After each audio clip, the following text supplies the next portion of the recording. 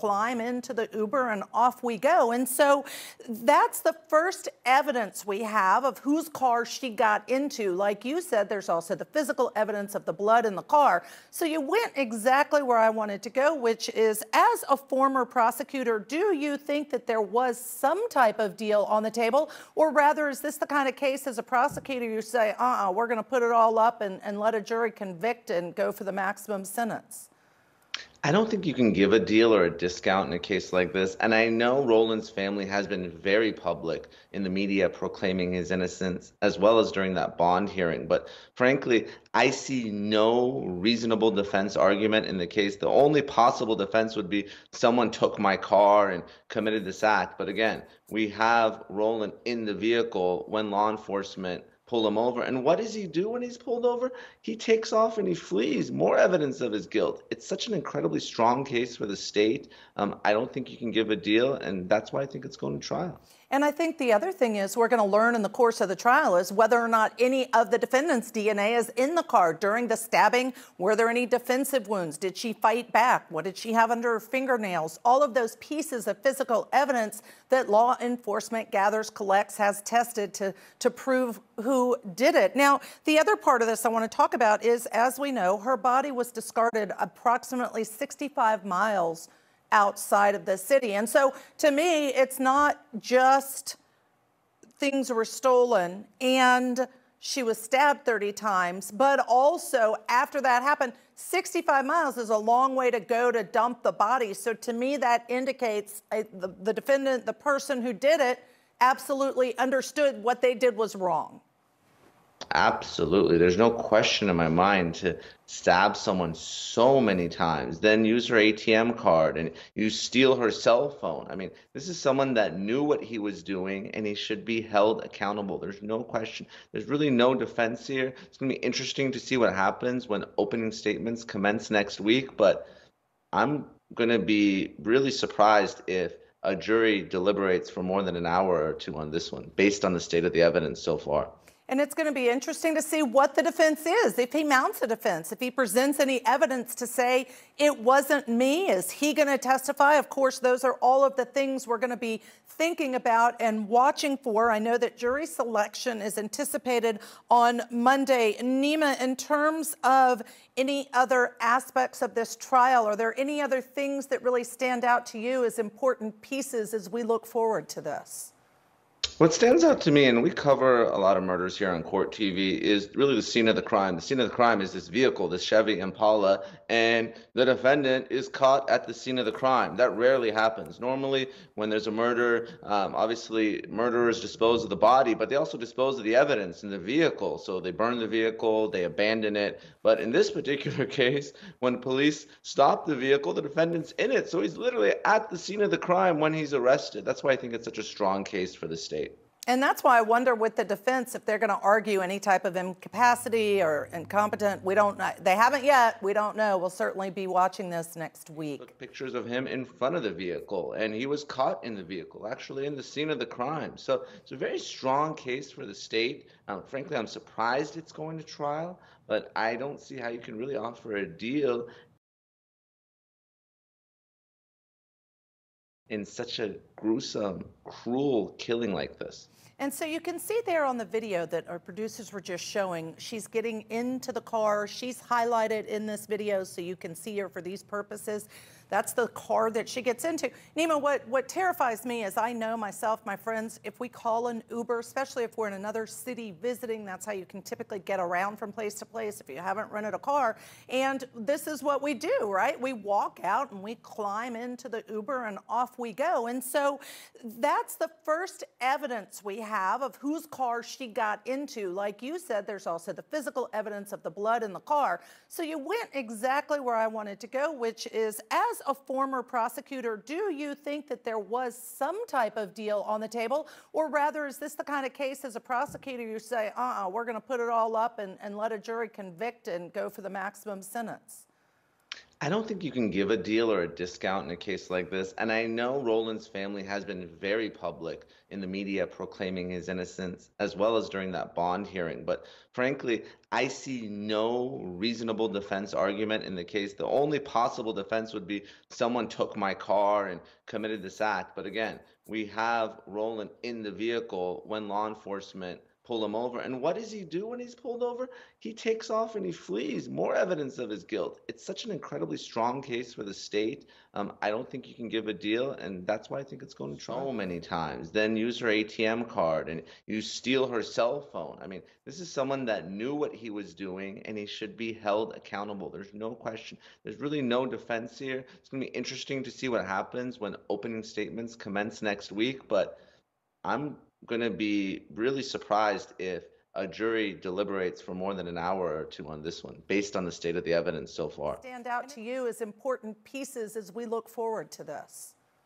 What stands out to me, and we cover a lot of murders here on Court TV, is really the scene of the crime. The scene of the crime is this vehicle, this Chevy Impala, and the defendant is caught at the scene of the crime. That rarely happens. Normally, when there's a murder, um, obviously murderers dispose of the body, but they also dispose of the evidence in the vehicle. So they burn the vehicle, they abandon it. But in this particular case, when police stop the vehicle, the defendant's in it. So he's literally at the scene of the crime when he's arrested. That's why I think it's such a strong case for. First of all, the history of domestic violence in this case, because testimony that we just listened to, and there was additional testimony that there was a history of domestic violence by this defendant, that she, in fact, was a very small woman, and he ended up, as we know, murdering her. And uh, First of all, let's talk about that aspect. How much do you think the jury took into account the history of domestic violence in convicting him? Judge Ashley Bo Pete Jeffrey is a murderer and he deserves to spend the rest of his life in prison. He has four prior felonies and he didn't testify, so the jury didn't hear all that, but they did hear his admissions to beating his ex wife on her birthday. He claimed three or four times in the head. We know it was more than that. She had internal bleeding. She had broken ribs. She had a laceration to the back of her head. Her ear was ripped, her right ear. I mean, just terrible, gruesome injuries by this monster. So even though the jury didn't hear the full story because he didn't testify and it didn't all come out, they absolutely knew that he was a wife beater. And I feel like that is, in terms of the defense, what really got him because I felt like listening to it. The defense was, um, yeah, I hit her. I, would I'd hit her. We had that kind of history, but I didn't mean to kill her, which to me is obviously not a good defense.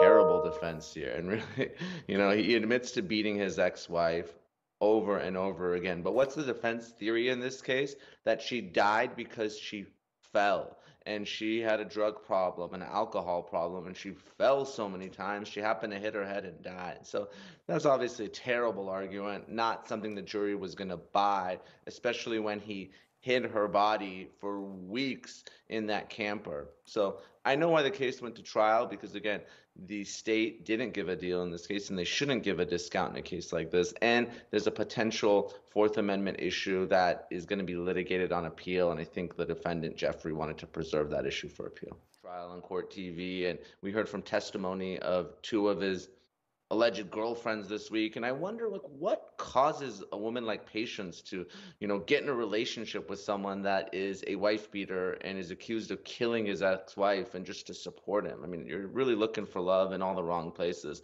uh, if you're patience here. But turning to the fourth amendment issue and you nailed it judge ashley the question is did the girlfriend patience have authority to let law enforcement into the camper because as soon as they walked in, they smell the decomposing body. Um, they find the remains there in the trash bags, and she had a key. So I think it was a reasonable conclusion for the trial judge to rule that she had authority to enter into the camper and, and, as a result she had authority to let law enforcement into the camper special place in hell for bo pete jeffrey i mean he is just the epitome of a wife beater and abuser. We know that women are victimized in this country physically and sexually, and this man is a predator, and he preyed on this poor frail, innocent woman. And, you know, to attack her during the trial as an alcoholic and a drug addict and somehow violent when he literally beat her to death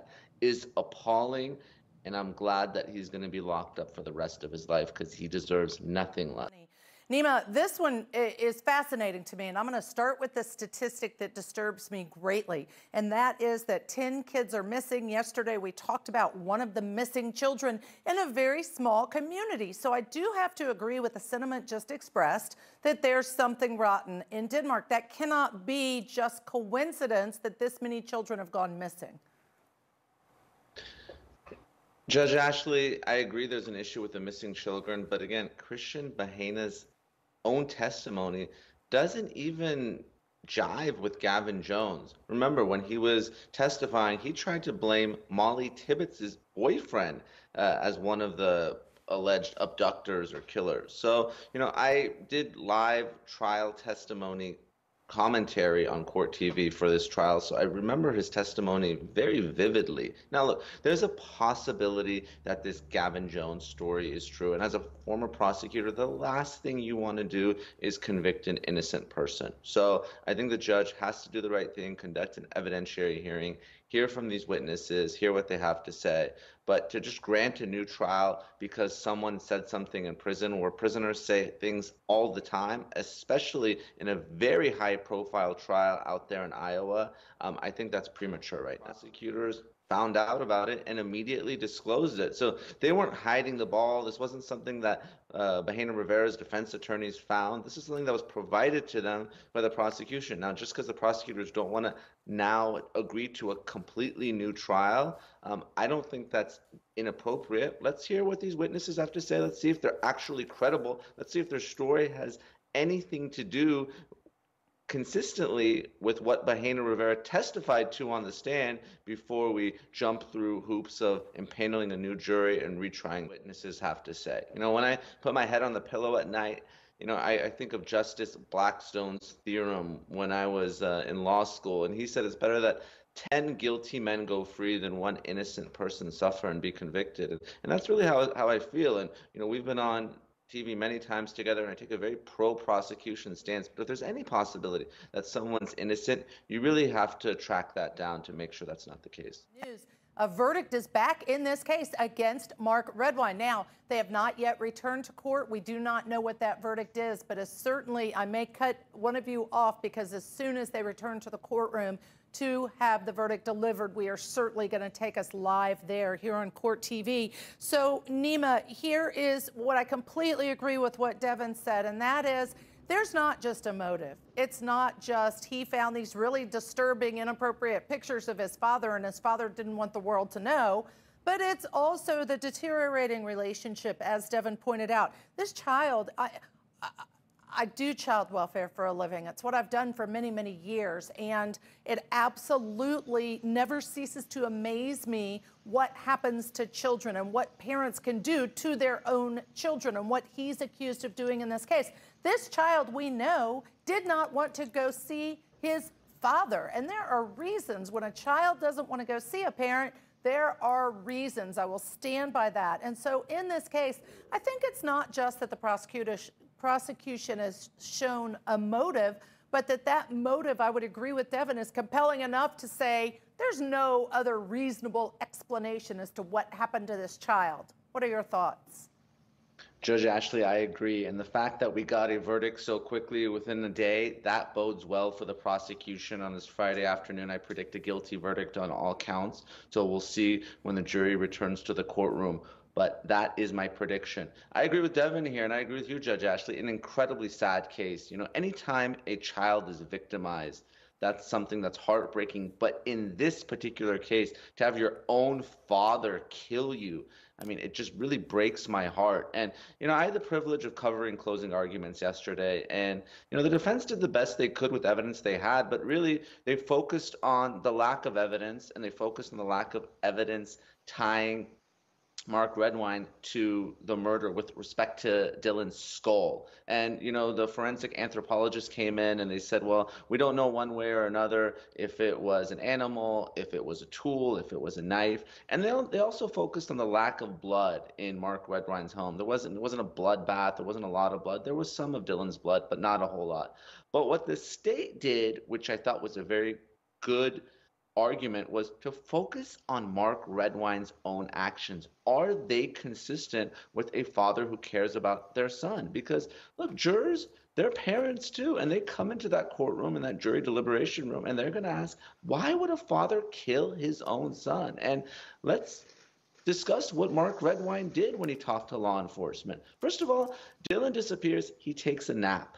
Then, during the course of the three interviews with the FBI, his story changes over time. First, he said there was no injury. Then, he said there was a cold sore which caused the blood. Then, he said that Dylan was injured because they were throwing a Nerf football around. And let me tell you the most damning piece of evidence against Mark Redwine. When the FBI is concluding their interview, they don't see a man who is interested in finding his son, who is worried, who is upset.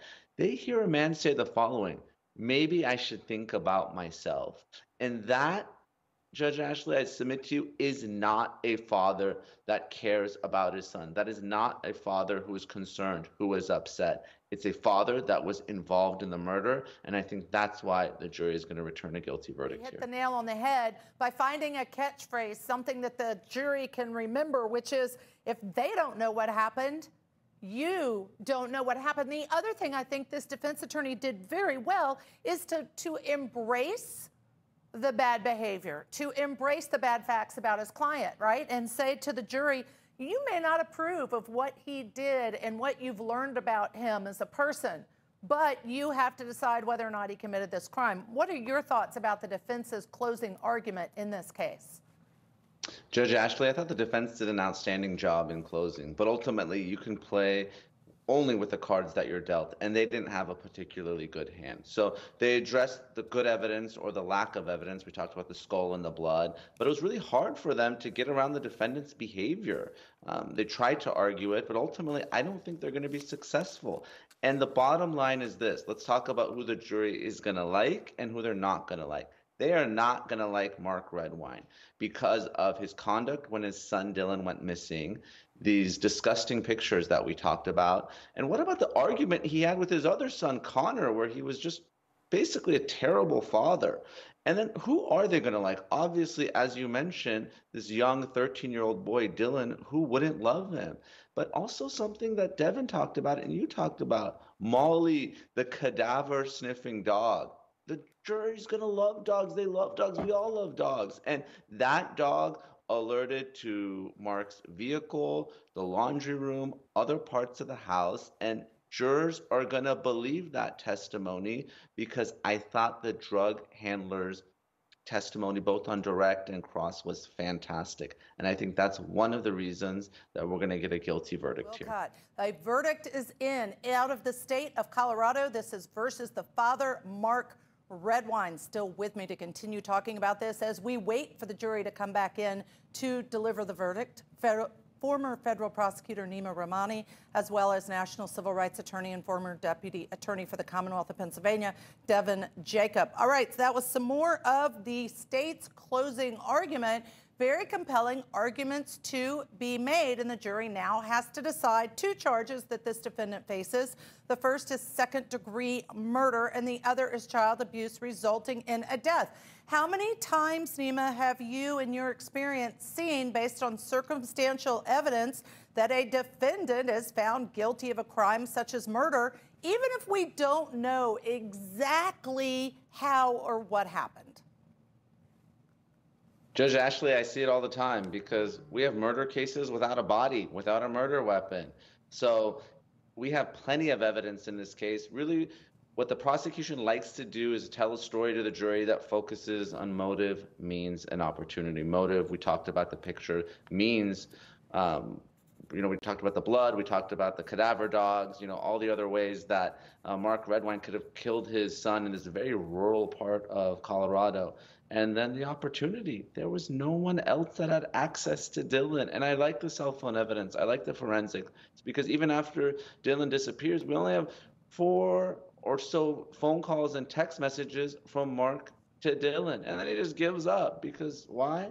He knows his son is dead. And another good piece of evidence were how far the the body parts were scattered. The skull was approximately five miles away from the rest of the body. And again, that's just not consistent with an animal attack. An animal is not going to carry a skull miles and miles away. I think a lot of us attorneys believe in. So the father appeared more sober than usual. That's another statement they made in that closing. Neama, did you pick up on that? Not more somber, more sober was certainly an alcohol problem, Mark Redwine. But I like the prosecution's theme of actions speak louder than words because we talked about Mark Redwine's inactions. He didn't really help with the search for his missing son, but he actually sabotaged that search. And I think one of the key pieces of evidence was before we got to Molly the cadaver dog, we had dogs that were searching for the scent of Dylan.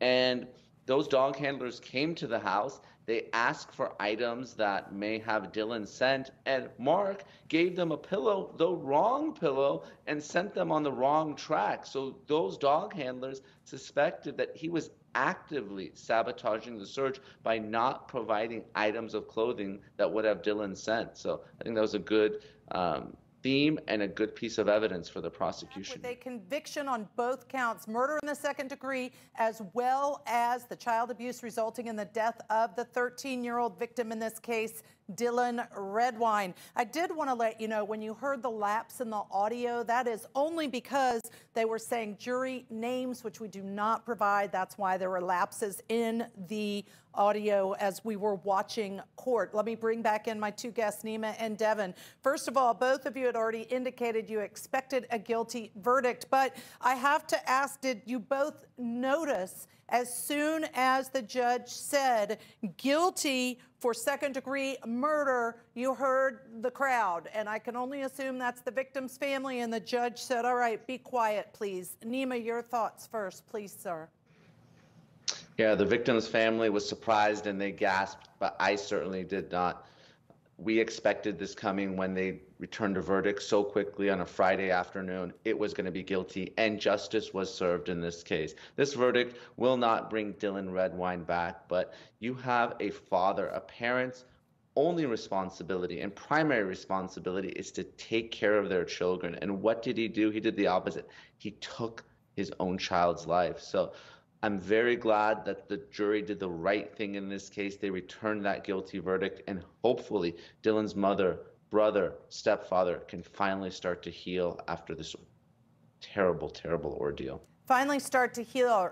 Nine years. This happened nine years ago. Here's a sobering thought the child would now be 22 years old, would be an adult. So I'd like to end with you and ask your thoughts about this. I was watching the defendant in the courtroom as the verdict was read, and the only thing I really noticed was his knee was moving quickly up and down, but he didn't start crying, he didn't act out. I felt like his behavior was the same as it was throughout parts of the trial, which is there didn't appear to be any um, overt emotion or remorse what did you think as you observed the defendant throughout this case? Actually, you called it. You, this is a defendant that has never expressed any emotion, any sorrow, any regret, any remorse for the disappearance of his child. And now that he's finally been held accountable for Dylan's murder, he still showed nothing. And really, the only emotion that we heard today was from the victim's family. So, Mark Redwine, uh, there's a special place in hell for people like you who abuse and kill their own children. So, um, and certainly, I hope you all find of, your peace. I didn't mean to interrupt you. I'm sorry, Neama. I just was going to add certainly all of our sympathies and thoughts go to Dylan's family, the victims in this case, guilty of.